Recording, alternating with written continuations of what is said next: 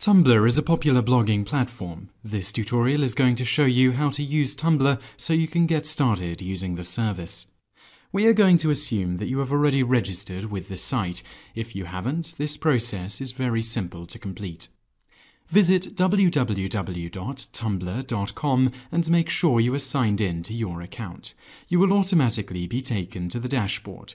This is where you can see what people you are following have recently posted. Scroll down the page to have a look at what people are up to. Scroll back up to the top of the page and you will see a bar that reads text, photo, etc. This is where you are able to publish material yourself.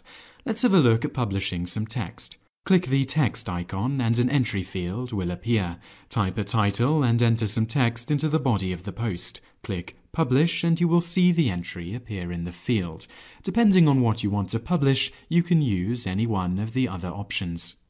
A great element to Tumblr is the huge amount of relevant content that you can get access to. To add another blog to your feed, click the Find Blogs button on the right.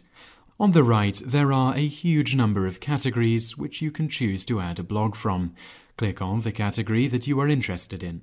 A page with the list of blogs will appear, and to subscribe to one, simply hover your mouse over its icon and click the Follow button that appears.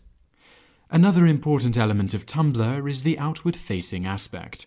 This is where people will be able to see your site without actually being a member of Tumblr.